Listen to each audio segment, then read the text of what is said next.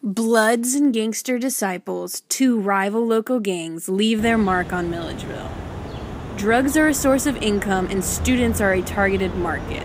I would certainly think that college students are, are a market for them. Mm-hmm. Um, and, and, so that's why on Thursday nights you will certainly see some downtown. Um, and that's certainly why we put out our downtown detail. It's kind of discourage that. According to police, Bloods are even divided within. Body Project Bloods rival Harrisburg Bloods. Police monitor for gang activity in these areas and in other housing authority areas, including Graham Homes on the north side and Jefferson Street. This is not Atlanta. Yeah. Um, obviously, there's not going to be the same, and the, the numbers of different sets and, and, and, gangs that are around. Um, but it is not also, it's not Mayberry either.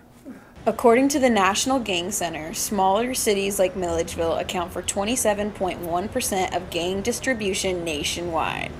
Children as young as 12 even become involved, Major Davis says. The deal now is that more and more are more younger, mm-hmm. younger kids, and they're doing uh, they're doing uh, residential burglaries.